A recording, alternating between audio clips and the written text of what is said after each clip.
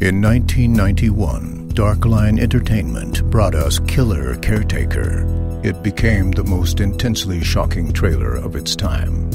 Now, in 2006, Darkline Entertainment brings you the most horrifying, intense, terror, disturbing, shockingly horror trailer terror for all times. Eddie loves you.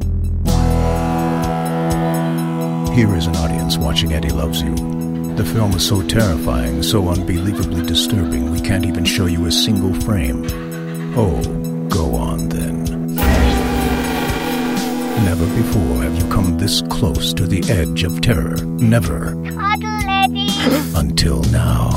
Eddie loves you. You can run. You can hide. Eddie's love. Prepare to go beyond the boundaries of your mind in a film so terrifying it will devastate you totally. Romero, Craven, Cronenberg, Argento are shit. This is Eddie Loves You by Karl Holt. Just keep telling yourself it's only a short film. It's only a short film. He's waiting for you. Film is not yet rated. No one under two foot admitted.